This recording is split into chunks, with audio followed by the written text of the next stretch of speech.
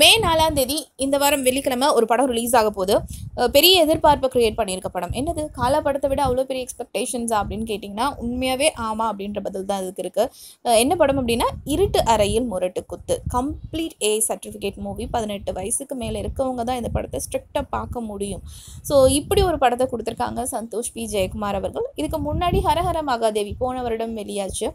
போன வருடம் நிறைய கருத்துள்ள பழங்கள் படங்கள் எல்லாமே வந்து ரிலீஸ் ஆச்சு. இருந்தாலும் ஹரஹர மகாதேவி வந்து கலெக்ஷன் வைஸ் ஒரு நல்ல வசூல் கொடுத்துருந்தது அப்படின்ற மாதிரியான தகவல்களும் இருந்துட்டு இருக்கு ஸோ ரசிகர்கள் வந்து இப்போ அதையும் ரசிக்க ஆரம்பிச்சிருக்காங்க.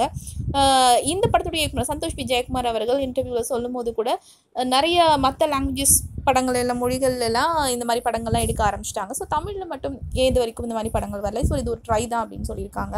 ஸோ ரசிகர்கள் வந்து இதை ரசிக்கிறாங்க அப்படின்றது ஹரஹர மகாதேவி படத்துடைய கலெக்ஷன்ஸ் வச்சே வந்து நாம் தெரிஞ்சுக்கலாம். ஸோ இப்போ வந்து ஹரஹர மகாதேவி வந்து பார்க்கும்போது நமக்கு தெரியும் நிறைய டபுள் மீனிங்ஸ் ஸோ அந்த படம் வந்து சும்மா ஒரு ட்ரை தான். இதுக்கு இந்த இருட்டறையில் முருட்டு குத்து படத்தோட ஒரு ஸ்டார்டிங் தான் அது. அதுக்கான ஒரு ட்ரை தான் ஹரஹர மகாதேவி அப்படின்னு ஒரு இன்டர்வியூவில் சொல்லியிருந்தாங்க. ஸோ அப்போ இருட்டறையில் முருட்டு குத்து படம் எப்படி இருக்கும் எந்த ரேஞ்சில் இருக்கும் அப்படின்றத நம்மளே இமேஜின் பண்ணிக்கலாம். சமீபத்தில் இந்த படத்துடைய ஸ்னீக் பீக் வந்து ரிலீஸ் பண்ணியிருந்தாங்க. ஸோ அதில் சொல்லியிருந்த அந்த ஓட்டை அப்படின்ற வார்த்தை இப்போ வரைக்கும் பயங்கர ட்ரெண்டிங்கில் இருந்துகிட்ருக்கு ஸோ ரசிகர்கள் வந்து இங்கே தமிழ்நாட்டில் இப்படி தான் இந்த மூவி தான் பார்ப்பாங்க. அவங்களுக்கு மாசாக இருந்தால் பிடிக்கும். குடும்பத்தோடு போய் பார்க்குற படங்கள் தான் பிடிக்கும் அப்படின்றதெல்லாம் மாறி போய் இப்போ வந்து அடுத்த ஒரு ஸ்டேஜில் எல்லாரும் இதை ரசிக்கிறாங்க அப்படின்ற ஒரு சுச்சுவேஷன்ஸும் இருந்துகிட்ருக்கு ஸோ இந்த படங்களை வந்து ஸ்ட்ரிக்ட்லியாக பதினெட்டு வயசுக்கு மேலே இருக்கவங்க தான் பார்க்கணும் அப்படின்னு ஒவ்வொருத்தவங்களுமே சொல்லிகிட்டே இருக்காங்க. ஸோ படத்துடைய டைட்டிலே வந்து பார்த்திங்கனாக்கா அந்த டைட்டிலில் அவ்வளோ விஷயங்களை வச்சுருக்காங்க. P Santhosh Santhosh P. Jayakumar அவர்கள். ஸோ அந்த டைட்டில் பார்க்கும்போதே ஒரு இது வந்து ஹாரர் ஜானர் அப்படின்னாலுமே கூட படத்துக்குள்ளே ஏகப்பட்ட விஷயங்கள் இருக்கும் அப்படின்றது அந்த சிங்கிள் ஸ்னீக் பீக்கே வந்து சொல்லிடுச்சு இந்த ஸ்னீக் பீக் வந்து ரிலீஸ் ஆகிட்டு பார்த்தீங்கன்னாக்கா மில்லியன் கணக்கில் வியூஸு ஸோ எவ்வளோ எதிர்பார்த்துட்டு இருக்காங்க இந்த படத்துக்கு? எதிர்பார்ப்புகள் எவ்வளோ இருந்துட்டுருக்கு அப்படின்றத இதை பற்றி நம்ம புரிஞ்சுக்க முடியுது. ஸோ படம் மே நாலாம் தேதி ரிலீஸ் ஆகுது.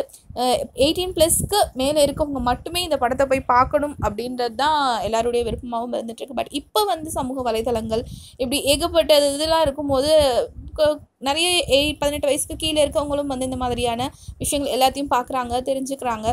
ஸோ இது வந்து எந்த வகையில் நல்லதா கெட்டதா அப்படின்றதெல்லாம் கம்ப்ளீட்டாக சொல்ல முடியல அப்படின்னாலுமே கூட இந்த மாதிரி படங்கள் வந்து தமிழ் சினிமா இண்டஸ்ட்ரியில் வரதை ரசிகர்கள் விரும்புகிறாங்க அதை எதிர்பார்க்குறாங்க அப்படின்னு தான் சொல்லணும். இப்போல்லாம் இப்போலாம் டிவிலே வந்து ஒரு காமெடி அப்படின்னாவே காமெடினா எப்படி இருந்த காமெடிலாம் இப்போ வந்து டபுள் மீனிங்கில் இருந்தால் தான் அது காமெடி அப்படின்ற மாதிரியே ரசிக்க ஆரம்பிச்சிருக்காங்க. ஒன்றுமே இல்லாத ஒரு ஒரு வல்கராக இருக்கக்கூடிய காமெடியை வந்து அஹஹா அப்படின்னு சிரித்து ரசிக்கிற மாதிரி டிவிலி டிவிஸ்லேயே வந்து அந்த மாதிரிலாம் கொண்டு வந்துட்டாங்க அப்படின்றப்போ தேட்டர்ஸில் இந்த மாதிரி படங்கள் வருது அப்படின்னா ரசிகர்கள் ஏற்றுக்கிறாங்க அதை வந்து என்ஜாய் பண்ணுறாங்க அப்படின்றதுனால கொடுத்துருக்காங்க.